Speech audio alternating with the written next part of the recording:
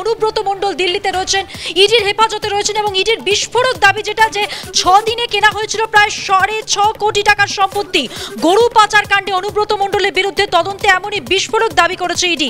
আরও জানব, সরাসরি কথা বলব। আমাদের সঙ্গে রয়েছে আমাদের প্রতিনিধি প্রকাশ সিনহা। প্রকাশ, ইডি সূত্রে এখনও পর্যন্ত কি কি জানা যাচ্ছে? অনুব্রত মণ্ডলকে জেরা করে কি কি তথ্য সামনে এলো? দেখো, তোমাকে বলে দিই, প্রথমেই দু মিনিট আগে, ঠিক দু মিনিট আগে আগে ইডির এই দপ্তর থেকে অনুব্রত মণ্ডলকে বার করা হয়েছে এবং আজকের মেডিকেল টেস্ট করানো হবে। মেডিকেল টেস্ট করানোর জন্য ইডির অফিস থেকে অনুব্রত মণ্ডলকে ইতিমধ্যেই কিন্তু আরএমএল হাসপাতালে নিয়ে যাওয়া হয়েছে এবং সেখানে মেডিকেল টেস্টের পর প্রায় পঁয়তাল্লিশ মিনিট লাগবে এবং অনুব্রত মণ্ডলকে আনা হবে। সাড়ে এগারোটার পর অনুব্রত মণ্ডলের আজকের যে জেরার প্রক্রিয়া সেই প্রক্রিয়া শুরু করবেন ইডির অফিসাররা। এবং তোমাকে বলে দিই, যে বিস্ফোরক দাবি ইডির তরফে করা হচ্ছে দু হাজার চোদ্দ সালের নভেম্বর মাসে।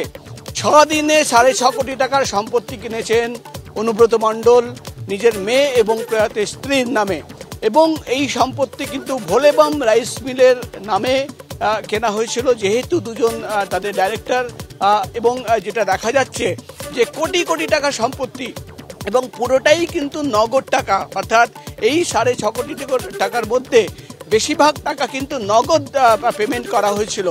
এত কোটি কোটি টাকা কোথায় থেকে আসলো? তাহলে কি যে অভিযোগ ইডির তরফে করা হচ্ছে যে গরু পাচারকারীদের টাকা প্রোটেকশন মানি হিসেবে যেটা আসতো, সেটাই কি এই সম্পত্তি কেনা হয়েছে? এবং এই প্রশ্ন যখন গতকাল অনুব্রত মণ্ডলকে করা হয়, যেটা এডি সূত্রের খবর, অনুব্রত মণ্ডল বলেন যে এত বছর হয়ে গেছে, তার মনে নেই।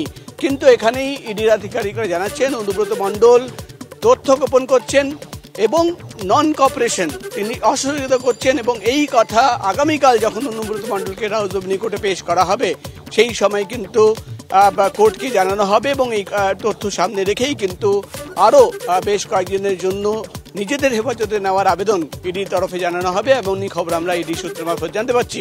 এবং শুধু এটাই নয় ছ দিনে সাড়ে ছ কোটি টাকার সম্পত্তি শুধু এটাই নয়, দেখা যাচ্ছে যে অনুব্রত মণ্ডলও কিন্তু বিভিন্ন সময় মার্কেট ভ্যালু থেকে কম ভ্যালু দেখিয়ে, ডিড ভ্যালু দেখিয়ে তিনি সম্পত্তি কিনছেন।